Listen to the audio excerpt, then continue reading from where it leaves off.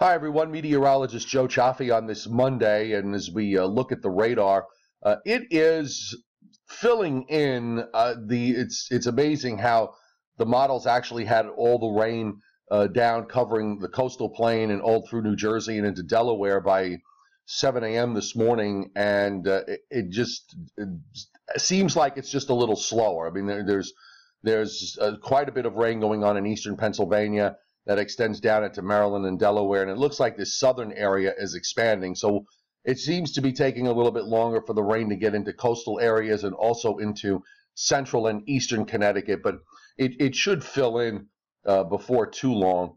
And hopefully we'll get a decent amount. On the southern back edge, uh, there's a gap, but there's still some more rain that's gelling up through western Virginia and even into southeastern Virginia. So uh, I'm thinking that at least into this afternoon, once this rain gets underway along coastal areas, it should put down a fair amount. And inland areas are doing a lot better because we do have rain uh, into the Hudson Valley. And as we said, in the northeastern and even into southeastern Pennsylvania, uh, doing okay with it this morning. But honestly, to me, this is still a gross underperformance of uh, of the rainfall that the models have predicted. And I'm going to show you here. Um, this is the very short range HRRR model uh, from this morning. And it does fill that rain in for a few hours and then continues it. Uh, we're now into 4 o'clock in the afternoon, but that rain area does shrink away uh, as we go into uh, tonight on this model. And you can still see, by the way, the remnant low of uh, Tropical Storm Julia as it just kind of straddles along the coastline. And there's actually a little bit of convection that's developed around it this morning, but um, you know that's only going to enhance rainfall uh, in areas to our south. None of this uh, seems to want to get up here. And in fact, uh, this model would suggest that the rains would probably be over with, and there would be uh, very little for the overnight or even left over into tomorrow morning. The NAM model uh, kind of wants to be a little more aggressive with this uh, in terms of rainfall, but it's still uh, you can see it, it sort of shrinks away as we go into this evening. Uh, a little bit more for Long Island, and a little coastal rain hangs out uh, into early Tuesday morning. Now, I'm kind of suspect about this northern fringe here. That may very well not be there, and it gradually dries out as we go through the afternoon anyway. And it also wants to leave a lot of moisture uh, to the south uh, into uh, Wednesday and Wednesday night and has it awfully close here. But again, I don't know how real this is. And by the way, you can also see uh, at the very end in the lower corner uh, the appearance of uh, Tropical Storm Karl at this point. Now, as far as Karl is concerned, uh, we're going to uh, take a look at that. First off, here's the wide satellite view. And uh, let me just show you where all the fronts are, what, what, what's actually going on. But, you know, we have this approaching front that's just, just taking its time. you have you, you can't really see it too well on the infrared, but this is what's left of Julia. Karl is out here somewhere, so that's not an issue.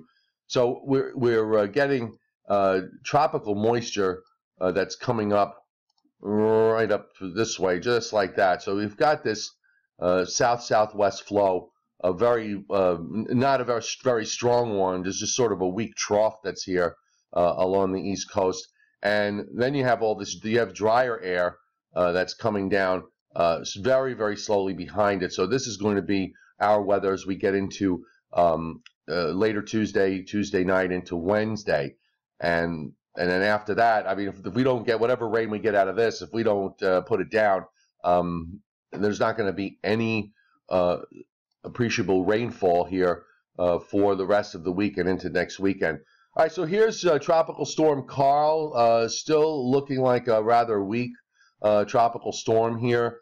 Uh, it, it's it maybe the core of the circulation looks a little better this morning, but uh, overall, um, I'm not really overly impressed with this. And the weaker that Karl stays, the further west it's going to wind up getting uh, on its track. So let's take a look now at uh, what we can expect from that from Tropical Storm Karl. I'm going to tell you that very little, uh, in my view, has changed in, in what I've been saying for the last several days with regards to Karl and that is um, the upper air is just not conducive for anything to move up the east coast, um, up the immediate coast at least. Uh, and this will stay offshore because everything is going according to plan. Uh, and we'll show you on the upper air here on the European model. Here's our ridge that Karl is moving under, but uh, as we, let me just back it up, sorry. There's our ridge that Karl is moving under. You can see that trough that's approaching the coast. It kind of lingers there. Part of it just sort of hangs back um, and, and sits off uh, along the southeast coast of the United States. You've got these westerly winds um, going across uh, uh southern Canada and the northeast. And there's the ridge still there. Uh, at the end of the week, it's still there. But now, as we uh, move into um, Friday, and here's where you, you start to get into um, issues with regards to the uh, ridge. So here's our westerly winds, and they're starting to sink a little further south. Uh, the upper ridge uh, that's out here is right there. Here's that upper high, and now you're getting a bit of a weakness right in here. So Karl is responding to that weakness by turning into it and moving to the northeast. So what happens is, as we uh, go through another 48 hours on the European model, uh, you, you, can see these westerlies get very strong, uh, very deep trough here uh, that forms uh, in east over over Labrador and Newfoundland. Right there, there's a big upper air low, and the westerlies dip way, way to the south. Just remember, you know, think of the jet stream. Remember, I always kind of describe it like this. You ever see a, um, a baby's toy with the gears in the box, and you have to kind of put all the gears together, and then you turn them, and you turn one gear, and it turns them all. It's kind of how the atmosphere works, but the only difference is that the gears themselves are constantly changing in uh, size and in strength. So uh, it causes all the other gears in the atmosphere, uh, the this uh, this upper low, this upper low back here, this um, ridge uh, that you see that starts to build uh, across the um, Midwest and and and and uh, Great Lakes and, and northern plains, well, the eastern part of the northern plains. So when one thing changes in the atmosphere, it changes everything. And this is what we have, especially with Karl, because this strengthening trough then breaks up, uh, takes up Karl and moves it away uh, to the east, northeast, and east. It may get close to Bermuda, depending on how sharp a right turn it makes. And then we've got the ridge still out here, um, but it's kind of narrow in scope. So if anything comes off the African coast, if it's underneath that ridge, it'll move westward. But right in there, we've got a weakness. So we'll see if that um, weakness holds over time. It may, it may not, but we'll see. Uh, and as we go through um, the latter part of the forecast period, now this has got implications for us in that when you've got a trough like this, and let me just uh, get back my pen here. But when you got a trough like this, a very strong northerly flow here uh, in the upper atmosphere, uh, the trough is to the east. Uh, there's going to be a big surface high that's going to come down here with some pretty cool air for the weekend and into early next week. It'll start to arrive on Saturday, and you'll really feel it uh, Sunday into Monday. In fact, uh, uh, very it has very cool air. Wouldn't be surprised to see some early season frosts in parts of interior New England if the models continue to show the magnitude of the high the way it is. But uh, I want to point out that it doesn't matter in the long term because uh, when we move ahead, uh, guess what? Um, we've got now into this is day 10, which is Thursday, the 29th of September. Uh, we've got this big ridge that uh, starts to build again in the eastern states. You can see it right there. And the westerlies get pushed up uh, a little bit further to the north, at least for a little while, until um, uh, the, the uh, westerlies lower again. So it's this constant flexing back and forth of ridge uh, in the east that gets uh, weakened every uh, few days or so by a, a, cold front and a trough that move on through.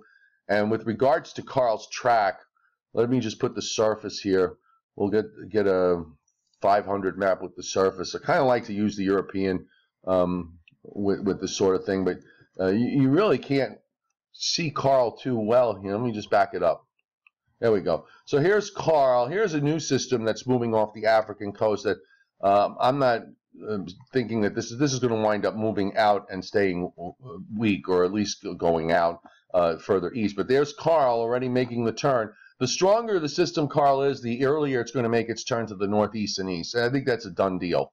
And then you see this big high that builds down into the eastern states late next weekend, which eventually turns into a warm high, and uh, we see uh, temperatures for a day or two back into the 80s as we go longer term. And you still got these weather systems coming off the African coast, so who knows what is going to happen with respect to the tropics down the road. So let's uh, call it a day. Uh, it was a pretty long discussion. Hopefully, we'll get an inch or two of rain out of this. I'm not really holding my breath, folks. Um, it's just a very, very frustrating process overall to watch um, the the rain just uh, not uh, play up according to plan. But this is what happens when you're in a drought. Uh, weather models tend to overproduce. Reality underperforms. When the pattern is the opposite, when you're in a very wet pattern, uh, the opposite happens. Models show less, and we wind up getting more. It's just that we're in this dry pattern, and um, it'll we'll stay in it until such time that it breaks. I mean, there's really no sign of any kind of long-term change in the overall dryness that we've been experiencing here in the east for the last um, six or seven months or so. Some rainfall deficits up to um, a foot and a half in some places. So don't forget uh, ssstormchasing.com for all your storm chasing needs um, New York, um, weatherlongisland.com, meteorologist joecioffi.com. Download my app, subscribe to my forecast. It's just 99 cents a month. And if you haven't subscribed for free to my YouTube channel, please do. Um, uh, it's great. I try and stay engaged. I'm also on Facebook, also on Twitter. Uh, you can go on my uh, website, meteorologistjoecioffi.com or weatherlongisland.com, and link to my Facebook and Twitter accounts from there. So have a great day. And don't forget, I'll be on also tonight on FiOS 1 News Long Island, FiOS 1 News New Jersey, and FiOS 1 News Hudson Valley.